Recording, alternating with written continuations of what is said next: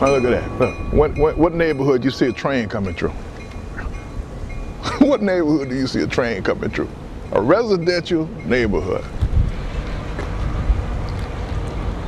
Tell me the last time you saw that.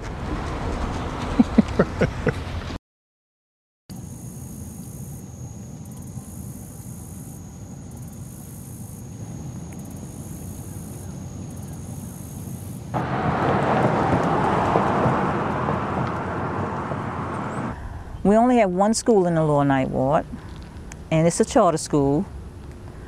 Um, and what are people going to come to?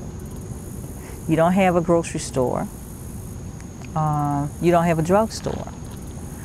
So what are people coming to? You don't have, you don't even have a doctor's office here. The, the social system for kids is non-existent. You know, my kids can't come out here and go around the corner and play with the kids around the corner, but there aren't any kids around the corner. Who's worrying about what type of child we gonna have five or 10 years up the road?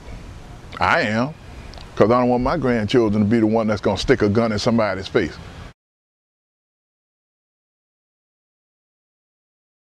We collected antiques uh, practically our whole married life, and that was our retirement. That was our plan. Everything in our house was antique. So by losing all of that, we lost our retirement. We lost everything. Just like other people in other in other places, we we're no more than one or two months of being homeless from being homeless.